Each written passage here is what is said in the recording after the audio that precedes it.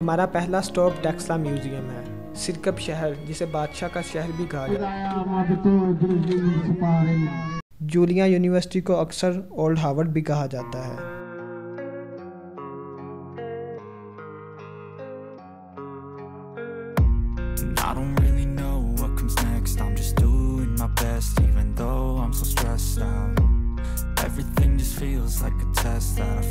Hello, Assalamu alaikum, and welcome to our vlog. I am your host Mohsin, and I'm super excited to share my day trip to Texla with you all.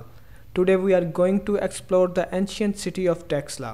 Islamabad से टेक्सला का distance तकरीबन 38 kilometre है I hope हम लोग 40-45 minute में टेक्सला पहुँच जाएँगे टेक्सला जदीद दौर के पाकिस्तान में वाक़ एक असार कदीमा का अजूबा है जो छठी सदी कबल मसीह का है इस शहर ने सल्तनतों के अरूज जवाल को देखा है और सदियों से सीखने, सकाफत और तजारत का मरकज़ रहा है। टेक्सला के सारे कदीमा को 1980 में यूनेस्को वर्ल्ड हेरिटेज की लिस्ट में शामिल कर दिया गया था। हमारा पहला स्टॉप टेक्सला म्यूज़ियम है।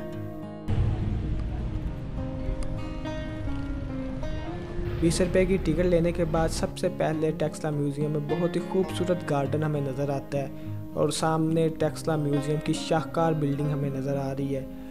टेक्सला म्यूज़ियम की तमीर 1980 में शुरू हुई और 10 साल बाद 1928 में मुकम्मल हुई। ये म्यूज़ियम फ़न पारे मुजस्मे और आसार का ख़जाना है, जो टेक्सला की भरपूर तारीख की कहानियाँ बयान करते हैं। गंधारा आर्ट से लेकर बुद्ध मत तक के आसार तक आपको ये सब कुछ यहाँ मिल जाएगा।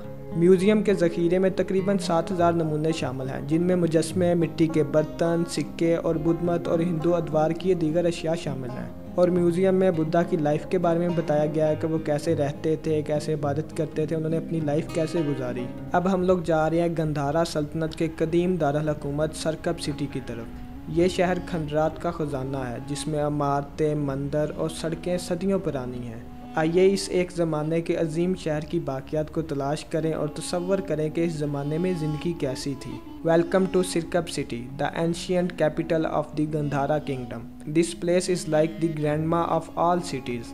It's old, it's wise, and it's got some amazing stories to tell. तो सिरकप में कौन आता है? ठीक है, मेरे जैसे शौकीन व्लॉगर्स के अलावा आपको तारीख के शायकीन, असार कदीमा के शौकीन और कोई भी ऐसा शख्स मिलेगा। Who loves a good ruin and trust me this place has got some serious ruin cred Sirkap शहर, जिसे बादशाह का शहर भी कहा जाता है। पहली सदी कबल मसीह से पाँचवीं सदी कबल मसीह तक गंधारा सल्तनत का दारकूमत था। ये कदीम शहर शहरी मनसूबाबंदी का एक अजूबा है। इसके खंडरात एक नफीस नकासी आप का निज़ाम, पक्की सड़कें और इमारतें और मंदिरों के पचीदा जाल की नुमाइश करते हैं। अलेक्जेंडर दी ग्रेट 326 कबल मसीह में बरसगीर पाको हिंद में आया था और टेक्सला के हुक्मरान ने उसका इस्तकबाल किया था।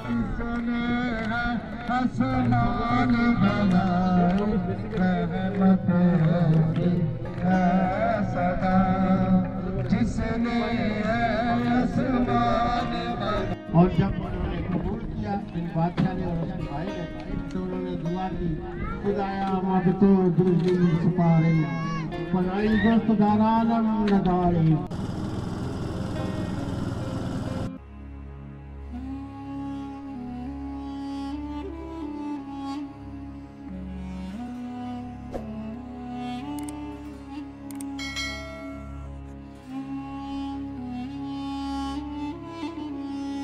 जूलिया यूनिवर्सिटी, जिसे यूनिवर्सिटी ऑफ़ टेक्सला के नाम से भी जाना जाता है।